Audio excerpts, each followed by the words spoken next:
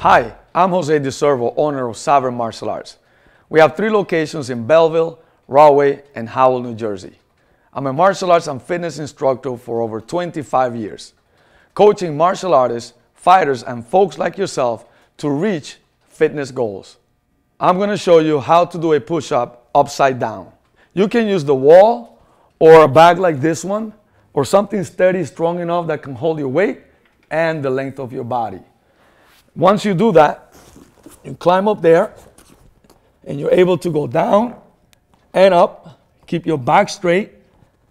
Go as low as you can and keep your balance.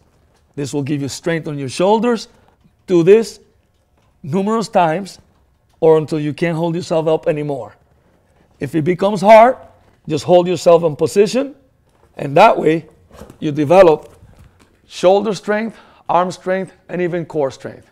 For us fighters, it develops the power in the punch. And that's how you do an upside down push up. I'm Jose DiCervo, owner of Sovereign Martial Arts, with three locations in Belleville, Rahway, and Howell, New Jersey. We help families become champions of life.